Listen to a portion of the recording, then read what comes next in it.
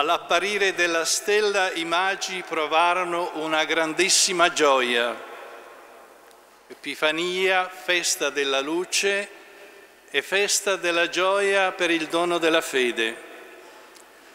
Lasciamo da parte per qualche istante le immagini della Befana, di Babbo Natale, le luci sfavillanti della pubblicità natalizia e del consumismo di questi giorni e andiamo con animo libero e semplice al presepio, così caro a Papa Francesco e da lui incoraggiato. Presepio che oggi si arricchisce della stella e di tre famosi personaggi, i re magi. La luce.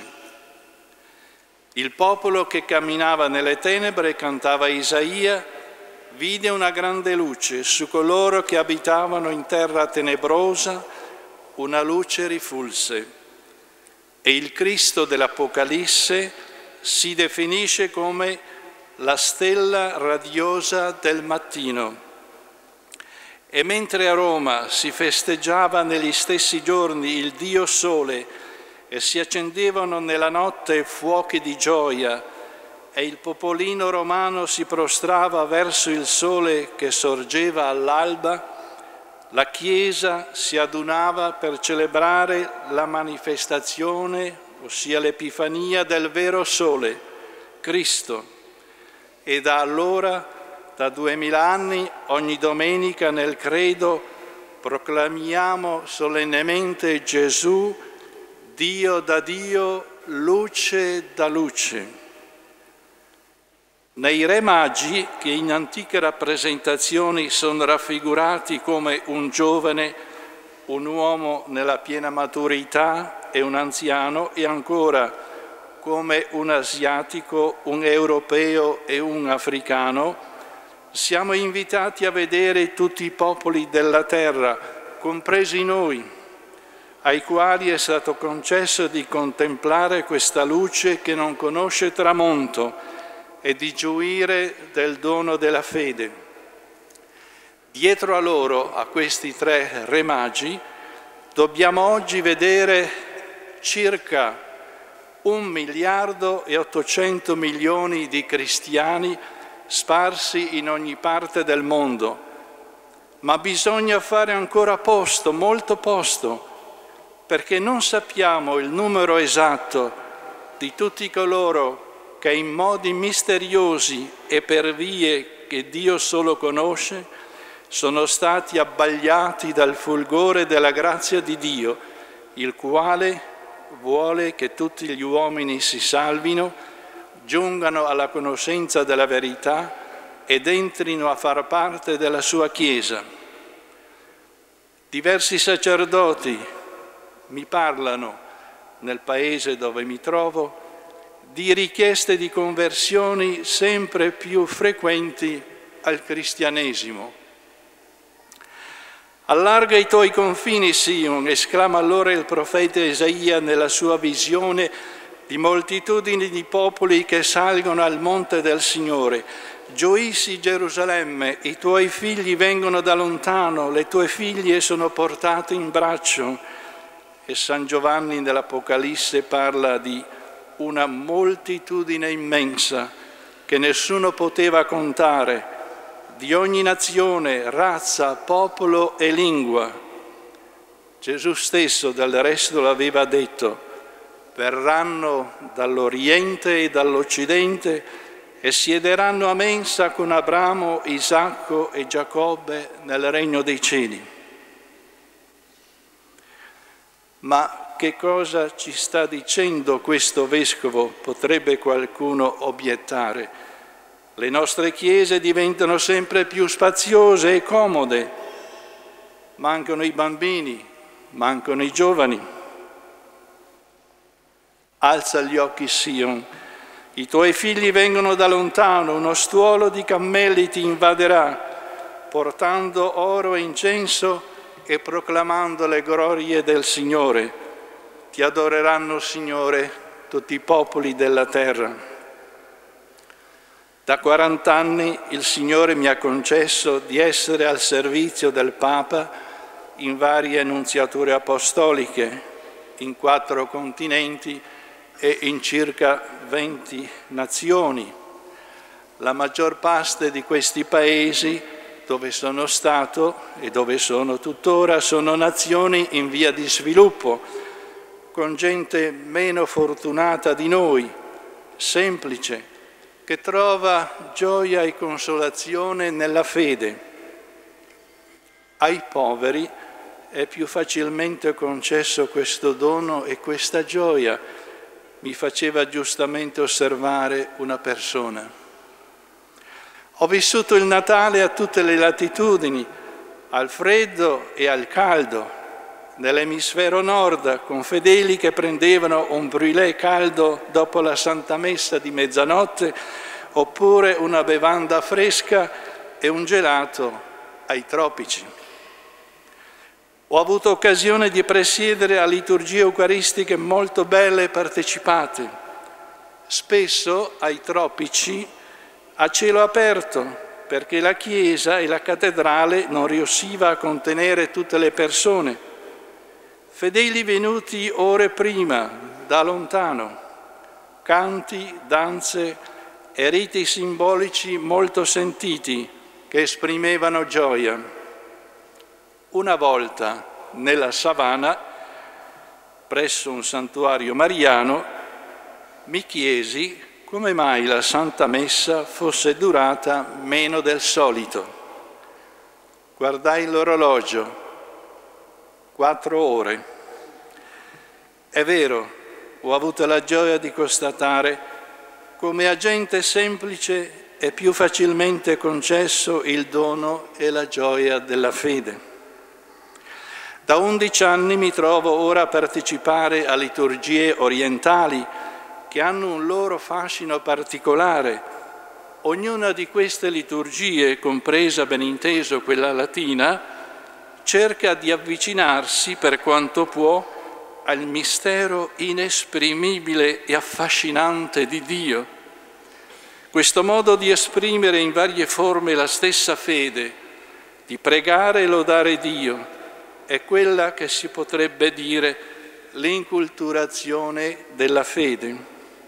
E così ciascun popolo, ciascuna lingua e ciascuna cultura porta in questa maniera i propri doni al Signore, oro, incenso e mirra.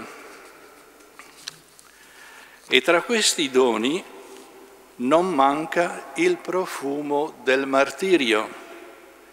Il Vangelo di oggi ci racconta delle trame crudeli del re Erode, per eliminare il bambino Gesù, facendo strage dei piccoli di Betlemme.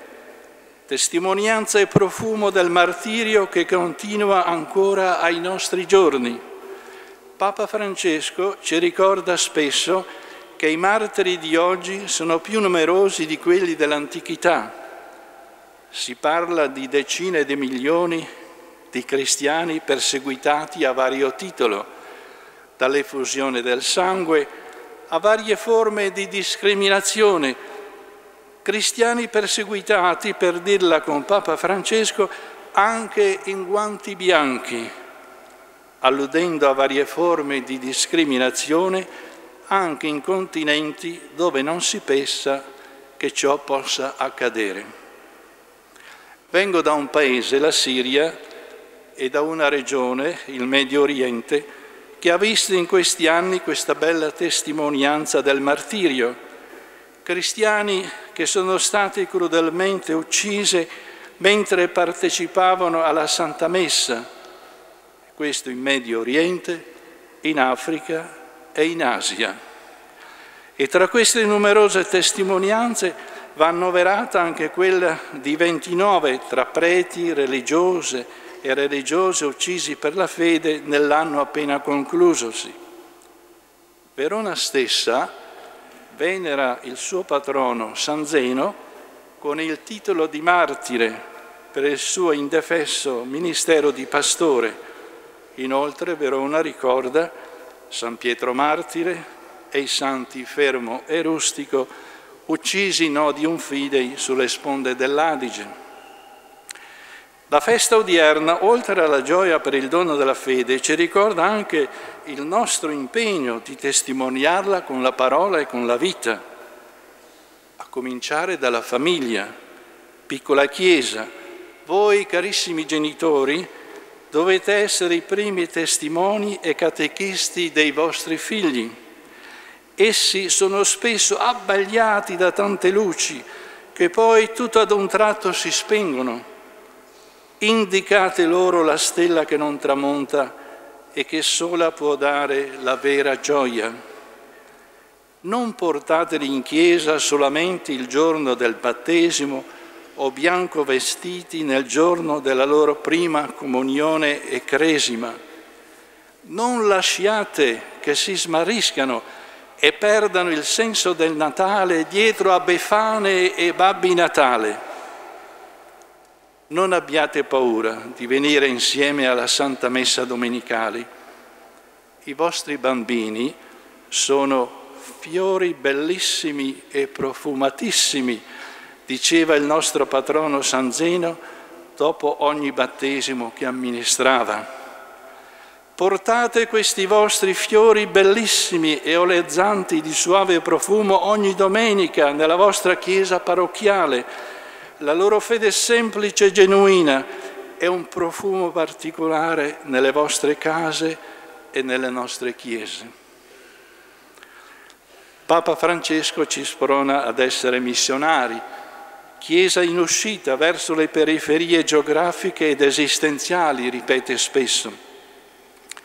Vengo dalla Siria, come ho ricordato, dove il giovane Saulo, Paolo, dopo l'illuminazione sfolgorante del Signore risorto apparsogli sulla via di Damasco, da persecutore dei cristiani divenne l'apostolo delle genti.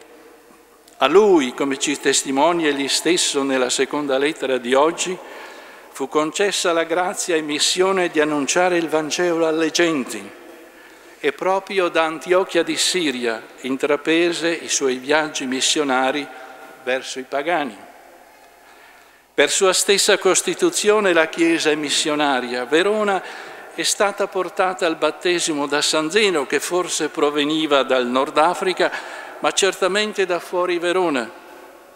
E Verona si può dire che ha ricambiato e può dirsi orgogliosa del titolo non solo di fedele, ma anche direi missionaria tra i numerosi santi e beati veronesi vorrei ricordarne due, senza dimenticare gli altri, altrimenti la mia omalia diventerebbe troppo lunga, che hanno avuto un particolare carisma missionario e i, cui, e i cui figli e figlie ho incontrato in varie parti del mondo. San Daniele Comboni, l'Apostolo dell'Africa, e Santa Maddalena di Canossa, le cui figlie ho incontrato in Estremo Oriente. E che dire degli attuali circa 450 veronesi in missione in varie parti del mondo?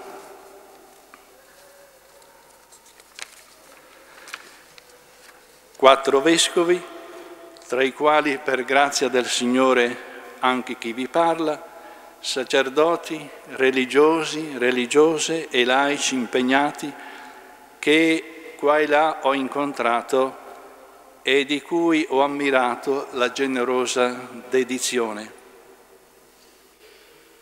Alza gli occhi Sion, i tuoi figli vengono da lontano portando oro e incenso e proclamando le glorie del Signore. Alza gli occhi, Chiesa di Dio, e rallegrati. Alza gli occhi e rallegrati, Chiesa di Dio in Verona. Vengono da Madian, Efa e Saba.